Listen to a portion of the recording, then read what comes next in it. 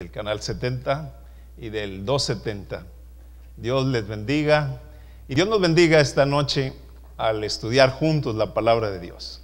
Quiero mencionarles, hace unos años atrás tuve la oportunidad de llegar como algunos de ustedes como estudiantes, jóvenes, y recuerdo muy bien que me invitaron para hacer la oración después de unos días de haber llegado para la escuela sabática. Y recuerdo que me aprendí la oración de memoria una y otra vez y la repetía en todo momento. Y cuando me arrodillé para hacerla, se me olvidó. La verdad es que en aquella ocasión me puse nervioso y hoy pues no me pongo nervioso, solamente las manos las tengo frías. Le digo a los hermanos, cuando termino el culto, no los quiero saludar porque tiendo a resfriarlos. Pero una vez yo recuerdo que le preguntaba yo a un pastor ya de mucha experiencia, que si eso no se quitaba. Y él me dijo, no, ya es jubilado y me dijo, hasta ahora a mí me sudan las manos. Bueno, es un privilegio, hermanos, pero es una responsabilidad y es que la palabra de Dios es viva y eficaz y nos llega a todos, ¿verdad? Y esta noche incluye a su servidor. Agradezco también al, bueno, el tiempo del pastor Pimentel, ¿verdad? El pastor Irán todavía no me invita a predicar, así que espero que luego nos invite, ¿verdad? Me preguntan a veces cuál es su iglesia, pastor. Hace unos días, pues un año y tanto, mi esposa y yo estábamos y con mis hijos acá en la iglesia de Zambrano y ahora me preguntan cuál es su iglesia. Y yo les digo, pues cuál, ahora tengo más de 200 iglesias. Y le doy gracias a Dios porque este fin de semana tengo el privilegio de venir y espero que ustedes compartan conmigo su iglesia y podamos adorar juntos, ¿verdad? Así que esta es mi iglesia. ¿Qué dicen hermanos? Amén. Ay, si ustedes fueran, me gustaría que, fueran pentecostés. Amén. Gloria a Dios, ¿verdad? Pero bueno, esperamos que nos calentemos un poquito durante el culto. Bien, esta, esta noche, hermanos, quiero este, presentarles, yo puse un título a la presentación de esta noche, En busca de la plenitud. Cristiana. En busca de la plenitud cristiana. Acabamos de leer un pasaje bíblico bien interesante que es muy conocido, que seguramente los hermanos que nos ven a través de la televisión y de la internet y nosotros podemos recordar, los que aman a Dios, todas las cosas les ayudan a bien. Ahora, es muy difícil. El miércoles estuvimos en uno de nuestros grupos pequeños y entre las oraciones alguien solicitó que oramos, oremos en particular por una familia que hace poco había perdido en esta carretera, en esta carretera internacional, uno de sus hijos. Y justamente el miércoles en el hospital y ya en la funeraria estaba otro de sus hijos muerto y uno de sus hijos en terapia intensiva. Tres hijos en la misma carretera casi. Así que, hermanos, no este, es bonito este pasaje, pero resulta difícil para aquellas personas que en algún, algún momento pasan momentos inexplicables, ¿verdad? De todas maneras, nosotros vamos en busca de la plenitud cristiana. ¿Qué quiere decir eso? Bueno, esto quiere decir una totalidad, una integridad, una calidad plena, una, un exceso de humor muy satisfactorio, un estado en que la persona dice, wow, me siento feliz, ¿verdad? ¿Y quién no quisiera disfrutar de esto, hermanos? Yo creo que todo se ha dado a fin de que podamos tener plenitud, pero pareciera ser que cada vez la plenitud, la satisfacción resulta más difícil. No sé si nosotros nos preguntáramos, este, si vivimos hoy mejor que hace 50 años, o hace 100 años, Pastor Espinosa, o hace 1500 años, no sé si sería mejor.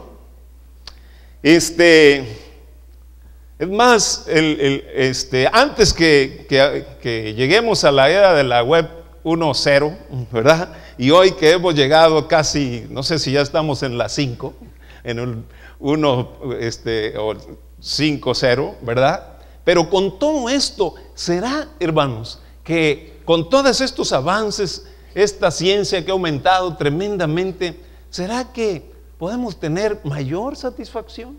¿Nos sentimos plenos? ¿Nos sentimos muy contentos con lo que tenemos, con lo que somos? Es increíble, pero fíjense, hay alguien que dice así, derrochamos más y cada vez disfrutamos menos. Más ricas recetas de comida sin tiempo para disfrutarlas. Hemos aprendido a ganarlos la vida, pero no a vivirla. Tenemos muchos conocidos, pero muy pocos amigos. Es tremendo. Eh, se podido poner a una persona en la luna, pero tenemos problemas para cruzar la calle y conocer al nuevo vecino. O sea, tenemos muchas dificultades. Por ejemplo, yo creo que en el área nuestra como pastores, ¿verdad? Este, tenemos más pastores y mejores medios de transportación, pero tenemos más solicitudes para hacer visitas. Visítenos, pastor, ¿verdad? Este, más servidores públicos, pero menos amabilidad y servicios de calidad. Bueno, qué desafío, ¿no? Bueno, no obstante, hermanos, vamos en busca de la plenitud, ¿sí? de las mejoras. La sierva del Señor dice en el libro de Mente, Carácter y Personalidad, el mundo está lleno de gente insatisfecha que pasa por alto la felicidad y las bendiciones que están al alcance y a la mano. En otras palabras, hermanos, este, aun cuando hay muchas cosas que recibimos, pero las pensamos que son ordinarias y que esas deben de llegar porque tienen que llegar. ¿sí? No vemos muchas cosas que en realidad verlas con, ojos diferentes realmente son cosas extraordinarias y debemos decir gracias Dios por darnos esto. Bueno, la pregunta de esta noche sería, ¿existe la plenitud cristiana? ¿O es algo fantasioso? ¿Se puede o no se puede? Jesús, él mencionó que eso es posible. ¿Se acuerdan ustedes de San, de, San Mateo 5:48? Sed pues vosotros qué? Perfectos como vuestro Padre que está en los cielos es perfecto, ¿verdad? Eso quiere decir que en la esfera nuestra es posible alcanzar la plenitud. Eso es lo que Jesús quiso decir ahí, sí. Así como Dios es feliz. ¿Creemos eso, hermanos? ¿Dios es feliz o no? O tenemos nosotros la idea de un Dios triste. No sé si por eso a veces pensamos, ¿verdad?, que ser cristiano es andar con la Biblia, ¿verdad?, sin sonreírle. Yo recuerdo acá, nos enseñaban a nosotros, si alguien llegaba uno serio aquí a la iglesia, ¿verdad? Pues dependiendo de la experiencia, yo recuerdo aquí nos enseñaban, muchachos, nos decían, ponga la mano aquí. Y entonces así, eso quiere decir sonriente, ¿sí? Y cuando la cierra, quiere decir serio, ¿verdad? Porque a veces necesitamos poquito de seriedad. Unos sonreímos muchos, otros no sonreímos casi nada, ¿verdad? Y entonces, pues de esa manera aprendíamos a sonreír, ¿sí? Y en otras palabras, a estar totalmente plenos. Hermanos, vuelvo a preguntar, ¿es posible estar feliz? El apóstol Pablo dice que debemos de dar gracias a Dios por todo, ¿no es cierto? y estar felices. ¿Estamos de acuerdo? Sí. Les vuelvo a repetir, si nosotros estuviéramos en una congregación cristiana, nosotros le decimos a los hermanos pentecostés, ¿es usted salvo? ¿Qué dice? Amén, gloria a Dios, ¿verdad? Nosotros los adventistas tenemos un poquito mayor dificultad. Nos empezamos a acordar de, ay, ay, ay, de lo que acabamos de hacer. Y no fue, ¿verdad? Correcto. No, seguramente no va a ser salvo, ¿verdad? Como si se dependiera justamente de esto. Hermanos, realmente este, una vida, una vida plena, una vida satisfactoria, no quiere decir una vida sin pecado. Nosotros entendemos que una vida plena es posible, vuelvo a repetir, en la esfera nuestra. ¿sí? Por eso Jesús dijo, yo he venido para que tengan vida y la tengan en qué calidad? En abundancia. De manera que eso se le puede llamar qué? Plenitud.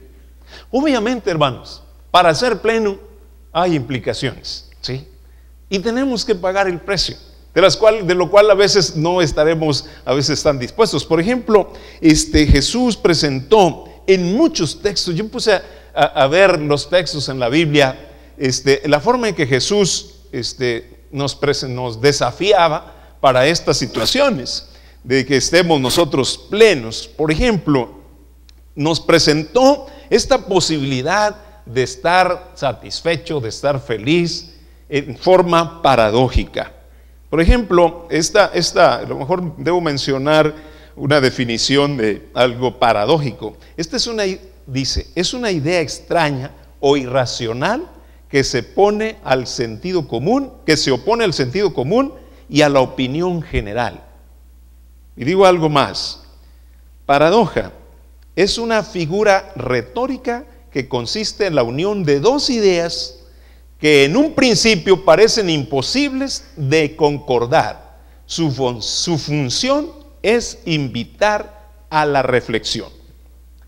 Por ejemplo, una persona que, dice, dice la palabra de Dios, Jesús mismo dijo, que quiere estar plena, en primera instancia, dice, no debe engañarse a sí misma. No debe engañarse a sí misma. Si quiere estar plena, dice, si es posible y si quiere estar plena, es necesario ser un poquito drástico. Saca, tu ojo y corta, si es posible, tu mano. A fin de que estés qué? Bien. Sí. Así como eres drástico, también debería ser tierno. Sí. En otras palabras, amarás a tu prójimo como a ti mismo. Esa es una manera, eso te ayuda a estar qué? Pleno.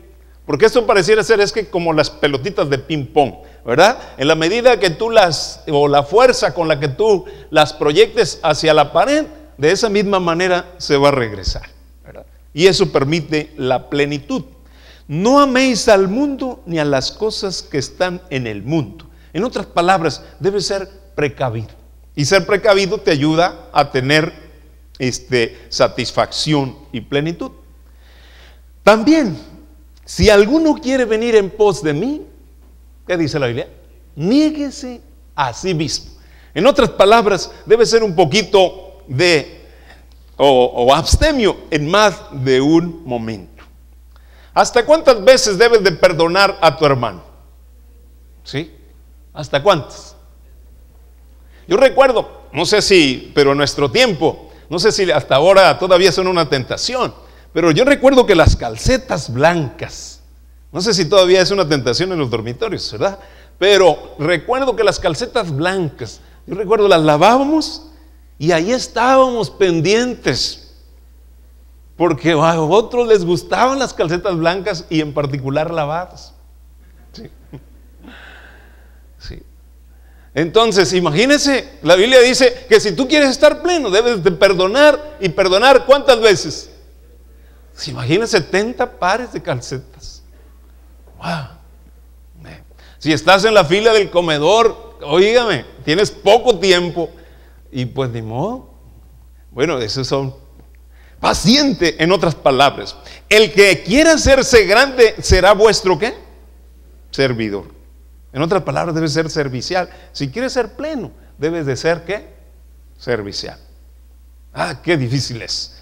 Cuando estaba yo trabajando de industrial, porque yo trabajé acá un año, dos años casi de industrial, recuerdo que la señora alemán, que ya descansa en, el Señor, ella me tocaba a mí lavar las ollas en la cocina. Y lavé todas las ollas.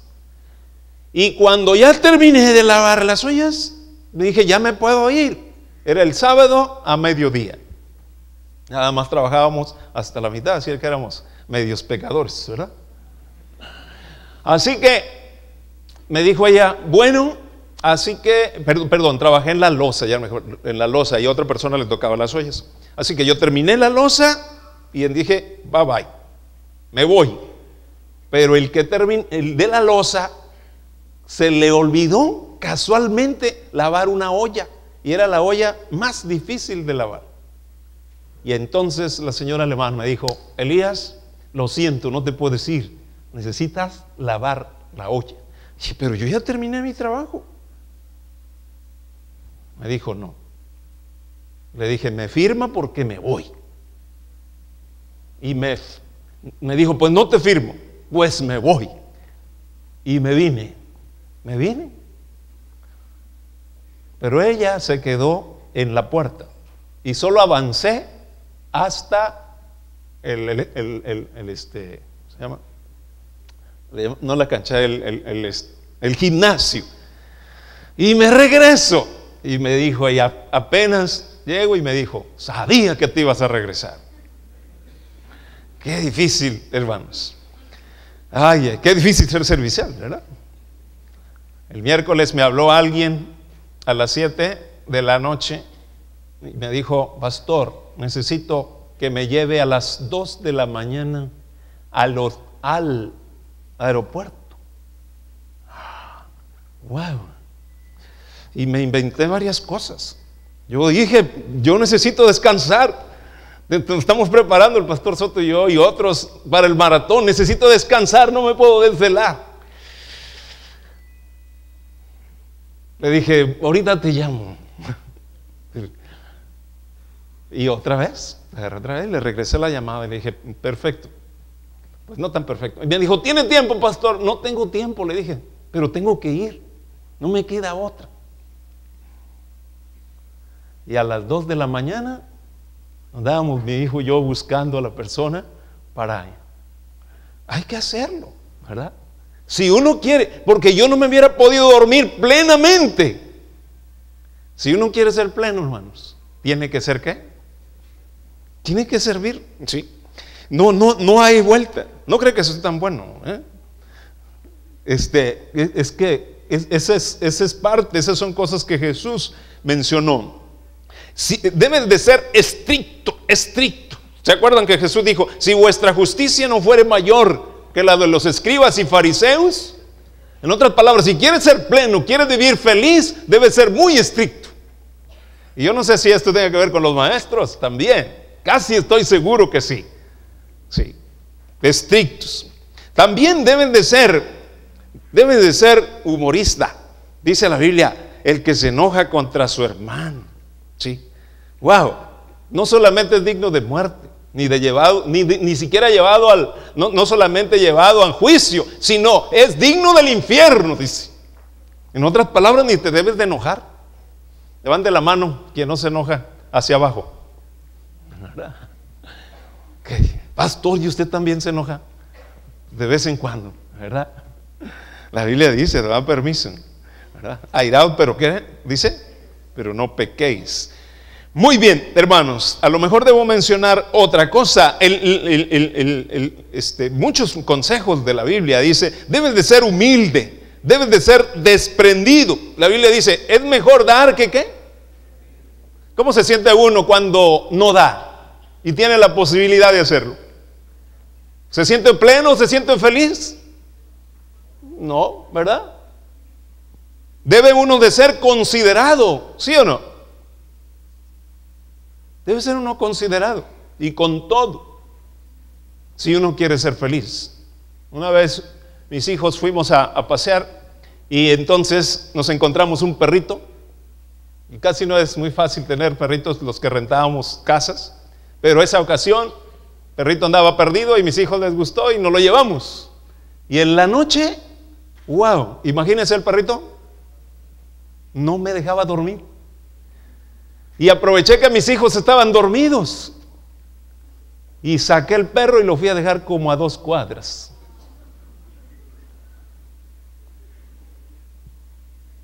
Pero como la noche, en la noche hay quietud, el perro, ¿qué creen? Empezó a gritar y el oído muy sensible.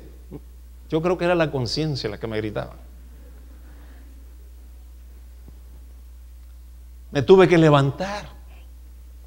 Ya me había ideado. Si mis hijos me preguntan del perro, yo voy a decir, se fue. Era la conciencia, ¿no?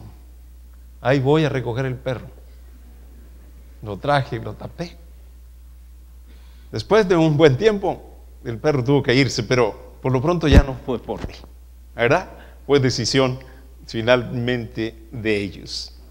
Yo les pregunto, hermanos, para ser pleno, para tener felicidad, sí. ¿Es, ¿Es fácil? No es fácil, pero es posible. ¿Es posible o no, hermanos? Es posible. Gloria a Dios. Por eso Jesús no se equivocó al decir, sed pues vosotros qué? Perfectos como vuestro Padre que está en los cielos, ¿qué?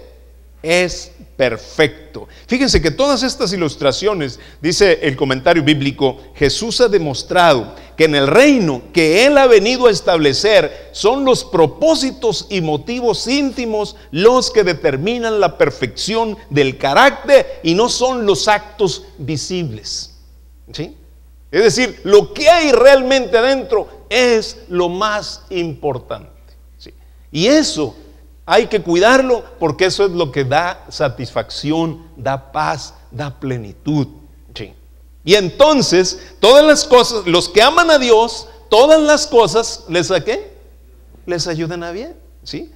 En otras palabras, Dios acomoda todo para que tú estés feliz. Bien, voy a este, mencionarles, hermanos.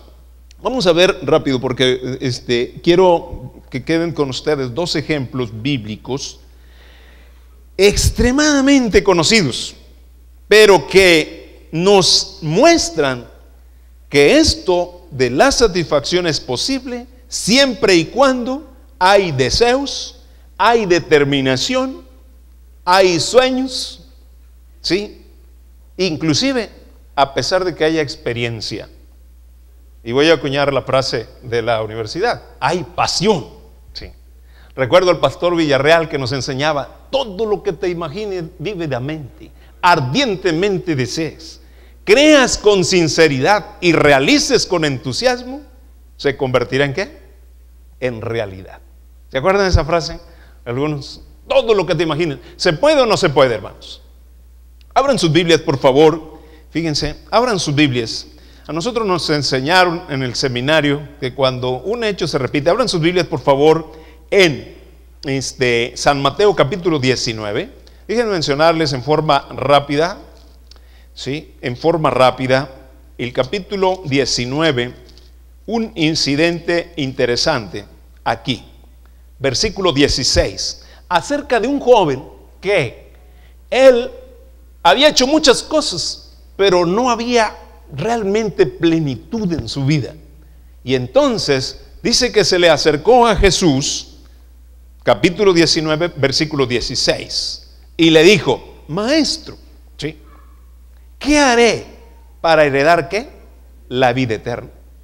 Y entonces Jesús le mencionó qué era lo que tenía que hacer. Y él dijo, bueno, esto lo he hecho. Pero Jesús le dijo, una cosa te falta. ¿Qué le dijo? Ve y qué? Vende todo lo que tienes y da lo que? A los pobres. Y ven y sígueme. Pero me gusta, y voy a repetir, si quieres ser qué? Perfectos. La palabra perfecto, ¿verdad? Es teleíos, ¿verdad, pastor? Teleíos. Que quiere decir maduro. Y una persona madura es una persona ecuánime, es una persona este, ah, tranquila cuando tiene que estar tranquila y es activa cuando debe estar activa, ¿sí? Y debe de ser estricto, ¿sí? Y debe de ser humilde, y debe ser servicial, y debe ser alegre, y debe reír cuando tiene que reír, ¿verdad? Y ponerse serio cuando tenga que, tiene que ponerse serio, ¿sí? Entonces, que sabe comportarse. Este, este muchacho había hecho muchas cosas, pero le faltaba una. ¿Cuál era? Ve y vende todo lo que tienes y dalo a quién? A los pobres. Yo quiero preguntarles, ¿qué hizo este muchacho? Dice en la Biblia que ante tal indicación, sugerencia y un poquito agresiva, sí. Como a veces tienen que este, actuar los maestros, los maestros a veces actúan en forma enérgica, estricta, ¿sí? Pero a veces también actúan en forma que cariñosa, paciente, ¿sí? Y no van una milla, van cuántas? Muchas más, ¿verdad? Este, e, e, es difícil, pero finalmente este, se va. Este joven quería tener el reino de Dios, pero no estaba dispuesto a hacer qué. Le pareció que lo que Jesús le estaba pidiendo era demasiado, es muy exigente. Hermanos, pero alguien dijo que el que quiera sur celeste, si las cosas que valen la pena se hicieran fácilmente, pero el reino de Dios no es algo sencillo, es algo que hemos de disfrutar por la eternidad y vale la pena, hermanos, ¿sí? Vale la pena hacer todo lo que esté de nuestra parte para obtenerlo. Únicamente aquellos que digan, Señor, todo lo que tengo y soy te pertenece, serán reconocidos como hijos de Dios. El joven rico dijo, Señor, lo tuyo es mío y lo mío es mío. Y por lo tanto, dice la Biblia, ¿cómo se fue? Triste. El sinónimo de tristeza, yo quiero preguntarles, ¿es, es este satisfacción, hermanos? ¿Será que se puede dormir plenamente cuando está uno triste? Pastor, ¿será que uno puede correr estando uno triste? No puede. Fíjese que nosotros no podemos, nosotros tenemos que hacer todo lo que esté de nuestra parte para ir feliz. ¿sí? Recuerdo cuando corrimos aquí el primer maratón con el pastor Soto, creo que estábamos como a 3 grados, no sé, frío. Y mi hija llegó, mi hija me llevó y me dijo, papá, pero estás loco. Y al inicio no veía a nadie, pero cuando vio una y más y más personas. Me dijo, papá, hay como tres mil locos. Me dijo. Y yo ya me sentí. Y después vi muchas. Hermanos, qué triste tener todas las posibilidades. Fíjense, Jesús, cuando vio a este joven con todas las posibilidades, Así como nosotros vemos a los muchachos, los vemos a ustedes, los maestros, los pastores, ven a los jóvenes cuando llegan con un potencial extraordinario. Y entonces les empiezan a decir, miren, esto hay que hacer y esto hay que hacer. Y ustedes dicen, ¿esto? ¿Barrer? No, ni en mi casa. Yo tengo que... No, mejor no. Hoy estábamos platicando todas las hazañas que tienen que hacer para hacer el trabajo, ¿no, hija? Qué tremendo. Tenemos que hacer algo extraordinario tenemos que hacer para que podamos lograr muchas cosas. Pero cuando uno quiere, todo es posible, ¿verdad? ¿Se acuerdan que dice la Biblia? Para el que cree, todo le es posible. Para que el que no cree, pues lo mejor que puede hacer es irse triste, ¿verdad? Y entonces eso. Déjenme mencionarles otra historia más bíblica. No sé el tiempo. Ok. Otra, otra historia bíblica que me gustaría compartir con ustedes. Esa historia que acabamos de mencionar está en los tres evangelios, pero esta solamente está en uno de los evangelios y es muy conocida y es la que está en el capítulo este, 15 de San Lucas. Ustedes recuerdan bien esta, esta historia, ¿verdad? Aquí vimos a un joven, pero aquí podemos ver a dos jóvenes y son, este, es la historia del hijo qué? Del hijo pródigo. El pastor Roberto Badenas le llama el padre, la historia del padre pródigo. ¿sí? Y otros ven este, otro pródigo ahí. Y, yo de veces, eh, más bien cuando he predicado en otra ocasión, le he puesto en busca del cuarto hijo pródigo. Y entonces ahí este, estudiamos la Biblia. Muy bien. Entonces, capítulo 15, versículo 11 en adelante. Aquí vemos la historia de un hijo joven, ¿sí? Menor, ¿sí? También con una insatisfacción que lo que él tenía en casa no le causaba mucha atracción. A tal punto que desafió al padre y le dijo, dame la parte que me corresponde. Y el Padre, tratando de agradar, como es el plan de cada uno de los padres, de agradar, ¿qué más hacer desde pequeño? ¿No es cierto cuando llegan los hijos? ¿Qué puedo hacer para agradar al hijo? Y entonces el Padre decidió entregarle lo que le correspondía a este joven. Este joven se fue a ir por una ciudad y por otra ciudad hasta que llegó el momento en el cual ya no tenía el recurso, ni siquiera para qué, para comer. Y cuando estaba en esa condición, entonces dice la Biblia que volvió en qué? Que volvió en sí.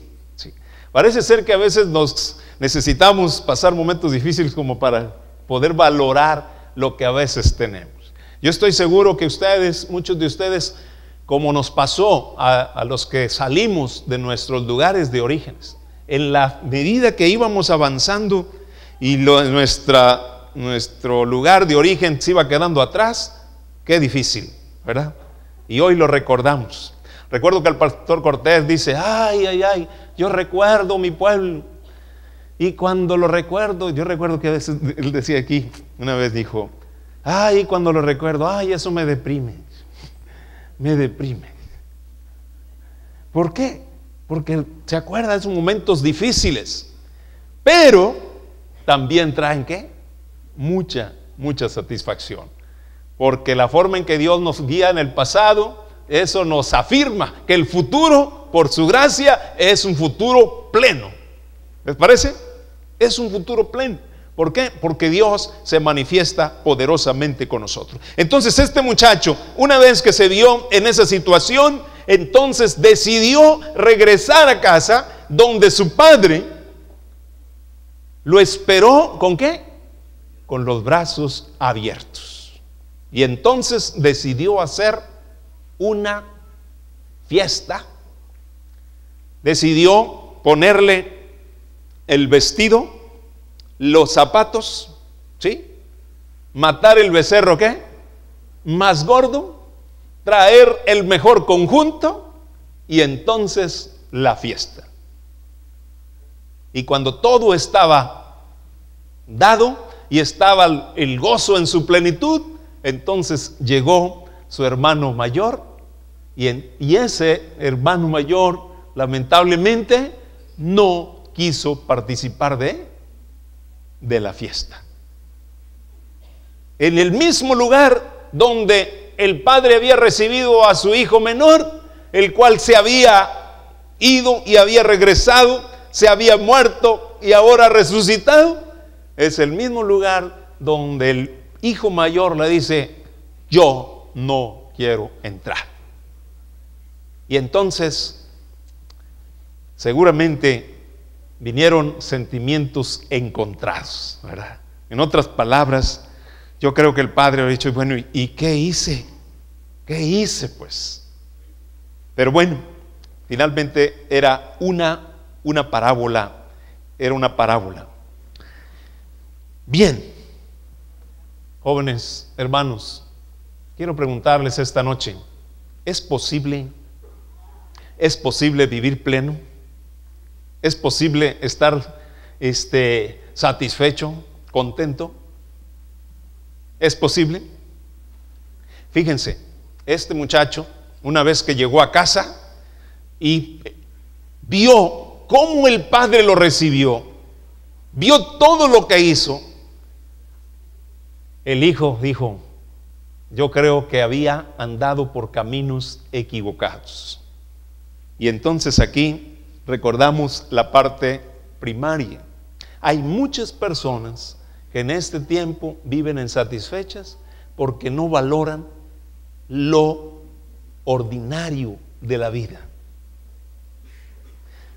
El aire que respiramos, el alimento, el vestido que tenemos, lo vemos como algo normal. Pero yo quiero preguntarles, hermanos, ¿es un milagro el aire? ¿Es un milagro el alimento? ¿Es un milagro tener amigos? ¿Es un milagro tener a nuestros padres? ¿Es un milagro tener a nuestras familias? ¿Es un milagro tener oportunidades como la que ustedes tienen, estar aquí en un centro de estudios? Es un milagro, hermanos, tener un lugar para trabajar y desarrollarnos. Damos gracias a Dios por ello. Sí. Nosotros lo pudiéramos ver como algo, bueno, pues ni modo, me lo gané. No. David dijo, todo es tuyo y de lo recibido de tu mano te damos. El joven rico tuvo toda la oportunidad, pero decidió irse triste. El joven,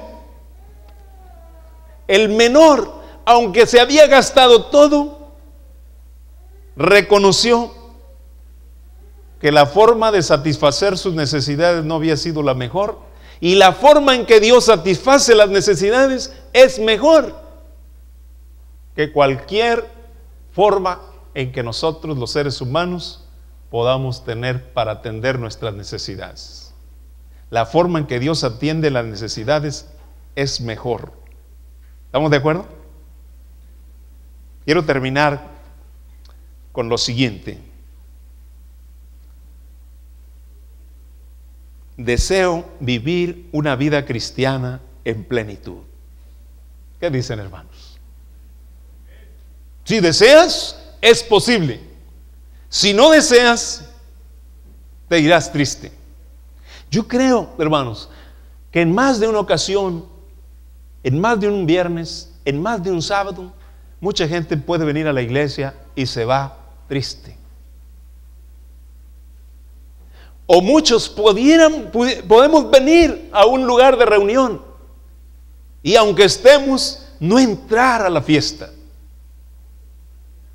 Dios, tú has dado y has aprovechado toda circunstancia para que yo esté pleno. Y yo te doy gracias por ello. Te confieso que en muchas ocasiones no entiendo tus reglas, tus normas, pero estoy de acuerdo, quiero seguirlas porque me traen mejor provecho que las mías. David dijo, pero tú Señor me rodeas como un escudo, eres mi orgullo, el que sostiene mi vida. ¿Creen eso, hermanos? Me muestras la senda de la vida. En tu presencia hay plenitud de gozo. Por eso, el que tiene al Hijo ¿Qué tiene, hermanos? La vida. Sí. ¿Y la vida en qué calidad, hermanos? En abundancia. Te agradezco por recibirme de nuevo, no importándome, no importándote los desaciertos de mi vida y lo malo que yo pude ser, no te importó y te doy muchas gracias porque me has aceptado. ¿Se acuerdan que Jesús va a tener muchas satisfacciones? Dice Isaías 53, y verá el fruto de su aflicción y quedará satisfecho. Si Dios va a quedar satisfecho, hermanos, en Cristo, yo creo que hoy podemos empezar a vivir en plenitud. ¿No les parece? San Pablo, él dijo, yo creo que eso es posible y aún no creo yo haberlo alcanzado, pero una cosa hago, me olvido de lo que está atrás y me extiendo a lo que está adelante. ¿Creen ustedes que esta noche podemos regresar a casa bendecidos, hermanos? Plenos, agradecidos a Dios por todas sus bondades. O podemos irnos tristes, hermanos que nos ven a través de la televisión, ahí donde tú estás.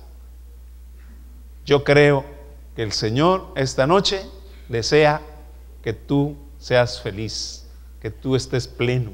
No importa el precio que hay que pagar, pero en el nombre de Jesús podemos ser plenos para su honra y gloria. Dios nos bendiga, Dios nos ayude y que esta noche podamos regresar a casa con fiesta, ¿verdad? Podamos regresar con felicidad en nuestro corazón. Es mi deseo y oración esta noche.